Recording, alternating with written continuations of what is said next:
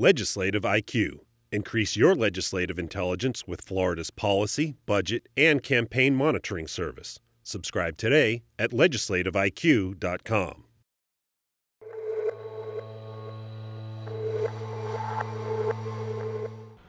Lifelong nurseryman George Hackney was awarded one of five licenses to grow marijuana on Monday.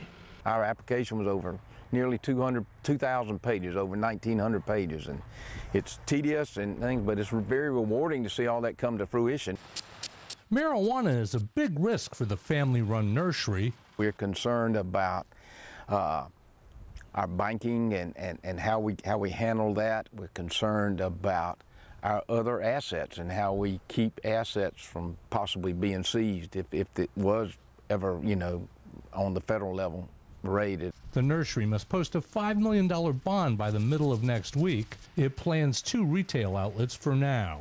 Do you even know what you'll sell it for yet? Absolutely not. The low THC legislation probably would have never passed if it were not for a Gulf Breeze mother and her epileptic child. Holley Moseley and daughter RayAnn led the effort to make low THC oil available. We've got to see firsthand the success that that plan is having for these children. In the process, they attracted support from hundreds of parents, like Teresa Miriam, who says it's taken too long to get her daughter help.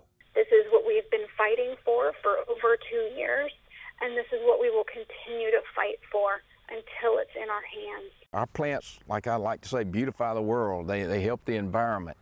I feel here now we're helping people. The first low THC medicine should be available for patients around June 1st. Reporting from the state capitol, I'm Mike Vasilinda.